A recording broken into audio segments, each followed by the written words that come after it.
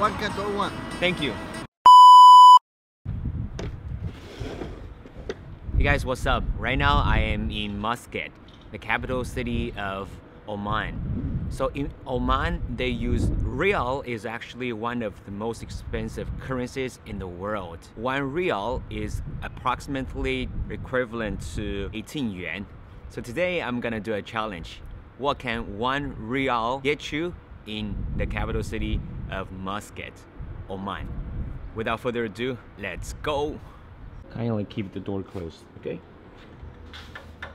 You're welcome. Because uh, Oman is a Muslim country, so you see a lot of places, they do have this prayer room. They have to pray five times a day. Each time is about five minutes. There's a supermarket right here.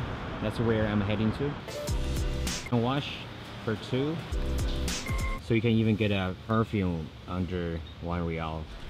Uh, one fun fact, their official holidays are Fridays and Saturdays. So get a package of this for one rial.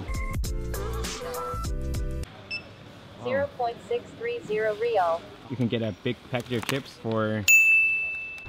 So I just got done with my one rial challenge at this supermarket.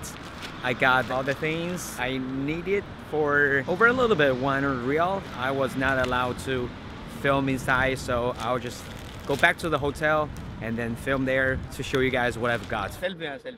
Selfie, selfie, okay, selfie. Let's go, selfie. Where you guys from? Bangladesh. Bangladesh. So I'm just back and uh, let's check out what I've got for one rial.